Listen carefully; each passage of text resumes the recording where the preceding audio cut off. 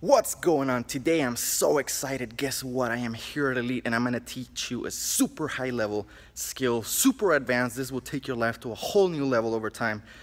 But I just gotta give you the disclaimer not everybody will be able to do this, okay? This is very advanced. Check it out. So, this is the super skill. Look, if you see something, you fucking pick it up, put it in the trash.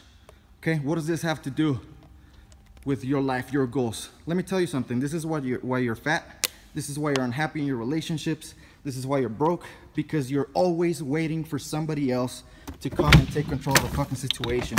You're a little crybaby and can't take you can't accept responsibility. So if you see something, stop waiting for someone else to come fix your situation. Stop waiting for someone else to come fix things for you. Assume control, take responsibility, and do what you have to do. Look, how long did that take me? How much effort did that take me? All right, you gotta stop being average, okay? Stop waiting for someone to take care of your stuff. Again, that's why your life is not the way you want it to be. Take action, take control.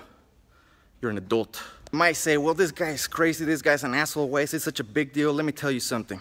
The way you do one thing is the way you do everything. If you're late to something, you'll be late on everything. You'll be tardy.